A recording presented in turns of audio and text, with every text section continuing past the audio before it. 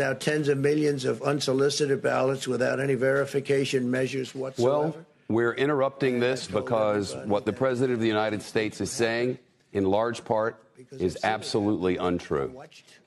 He began, and, and, and we're not going to allow it to keep going because it's not true.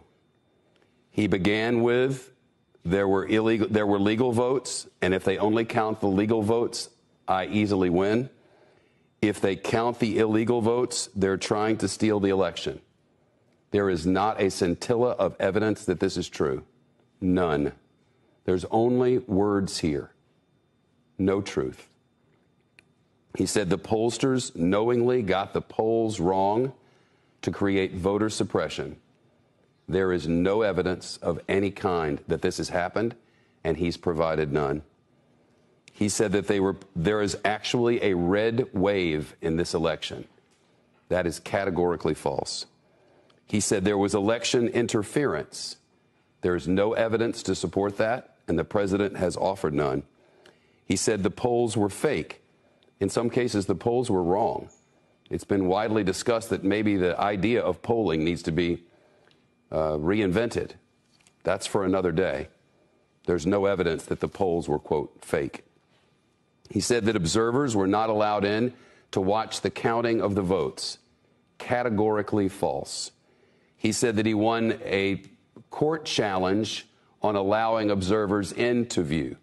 And in fact, he did win a court challenge in Allegheny County in Pennsylvania.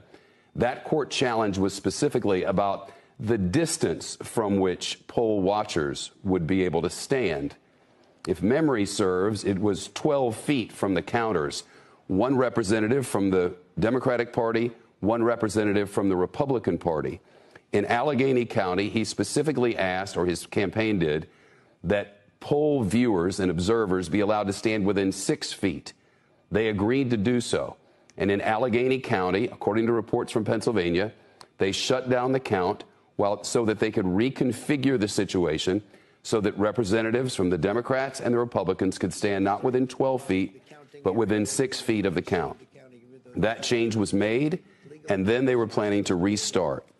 He said that they want that after, if you could take him out of my ear, please. He said they wanted to wait until after the election and then find extra votes for him. There is no evidence that this is true and he's offered no evidence to support it. He said that he won Florida bigly, I believe was the quote.